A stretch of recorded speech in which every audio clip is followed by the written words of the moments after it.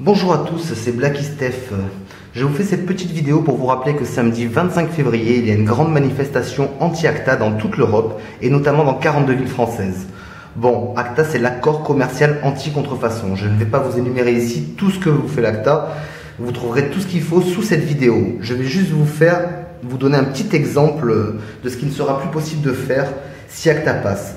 Donc si ACTA passe, le simple fait de chanter une chanson, de la jouer, d'avoir un fond sonore, sera interdit et répréhensible. Donc bon, vous me connaissez, vu que je suis un dangereux délinquant, je vais donc vous faire une petite contrefaçon d'Adèle. Donc je choisis Adèle parce que justement elle s'est fait connaître euh, en mettant des chansons d'elle sur internet.